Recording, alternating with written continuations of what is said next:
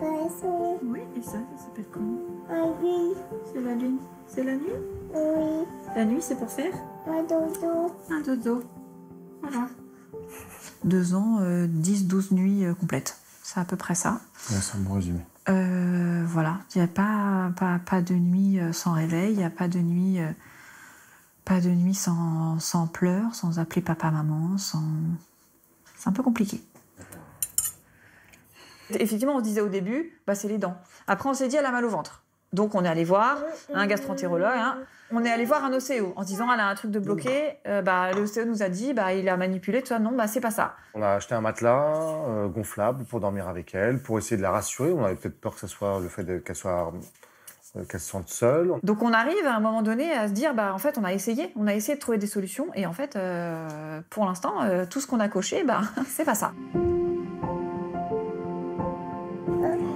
Allez petit dodo, c'est parti. On lave les dents, on change la, bah si, on change la couche, on va faire le petit câlin. Allez. Voilà. Tu vois c'était pas dur. On va faire dodo maintenant, tu le sais.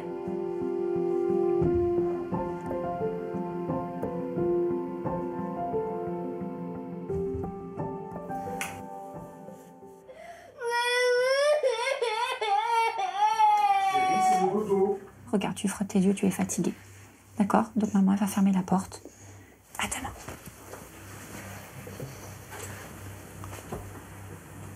Là, c'est surprenant qu'elle rappelle pas.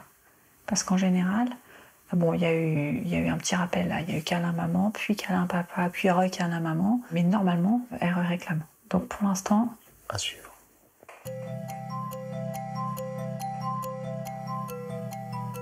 oh purée. Elle bouge encore.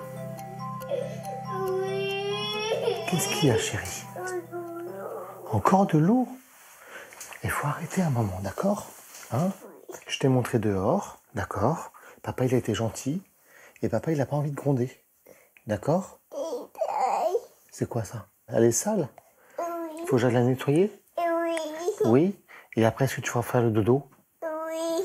C'est culpabilisant parce que du coup, euh, soit on se dit, on fait quelque chose mal, soit on se dit, les gens pensent qu'on l'a mal élevé. Non, non, non. Bah, moi, j'ai déjà une impression comme ça où les gens ils se disent, bah, en fait, euh, t'as que ce que tu mérites. Si elle pleure, c'est oui, parce c'est que laissé tu l'as pas laissé pleurer, ou euh, tu t'as mal fait quelque chose, ou, euh, ou elle est pas bien, ou tu la rassures pas. C'est forcément de la faute des parents s'ils dorment pas. Là, on est passé au-delà de la fatigue. On a eu un moment, quand elle a eu un an quand même, où ça a été Ouais, moi, très compliqué, vraiment. Moi, j'ai eu un- une période un peu de dépression même. hein. C'était- je- compliqué. Même pour nous, pour notre couple, hein, ça a été euh, dur euh, parce que bah, fatigue, donc, euh, Donc, donc on voilà, s'embrouille, donc on forcément. hein, euh, quand on voilà. dort pas, euh, c'est compliqué, quoi. Moi, je vais aller me coucher parce que je travaille demain.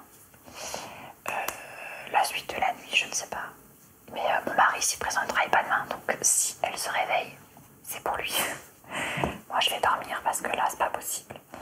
Et puis, euh, et ben, on inversera l'année prochaine. voilà. C'est comme ça depuis deux ans, donc on a l'habitude.